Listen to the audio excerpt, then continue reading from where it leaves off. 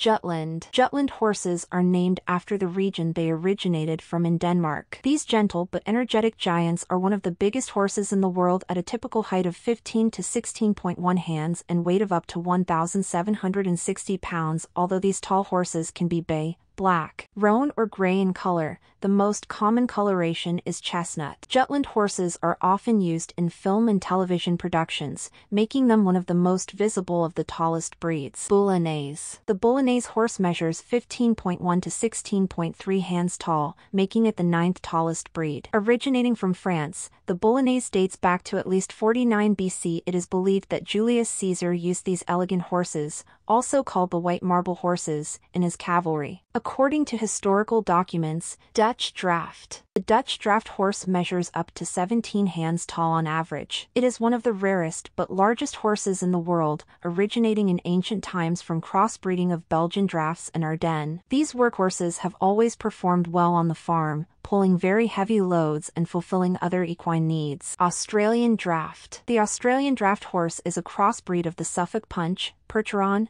Shire, and Clydesdale. At up to 17.2 hands tall and almost 2,000 pounds, Australian drafts are massive. This size and their strength make them ideal for pulling heavy loads, for which draft horses are bred. But today, they are seen more often in show rings, on riding trails and performing farm work. Suffolk Punch The Suffolk Punch originated in Suffolk, England sometime after the turn of the 16th century. Because of their impressive size at up to 18 hands tall, muscular legs, and dense bones, these horses were a natural fit for the hardworking farms of their era. But as industrialization took hold in agriculture, the Suffolk Punch teetered on extinction. Despite being England's oldest native breed, this horse is now critically endangered. Percheron. Measuring up to an impressive 18 hands tall is the typical black or gray French Percheron horse. This was once the tallest breed in the world, but their common size and appearance changed as more owners bred them with light horses like the Arabian. Today's Percherons are more visible in horse shows, parades, and riding stables than as farm workers. Still, they have a strong drive for work and do well in even snowy regions. The biggest among the breed is usually found in France or the United States. Clydesdale. The Clydesdale is overall one of the largest horse breeds, considering both their height and weight. But these Scottish giants are more compact in height than the Shire. Shire. Shires are muscular and easygoing. Despite their gentle nature, they were widely used for battlefield fighting. In the 1920s, two Shires pulled 40 tons of weight, making it clear why they were also highly popular for farming and pulling ale carts from breweries to homes. Many farmers rely on them,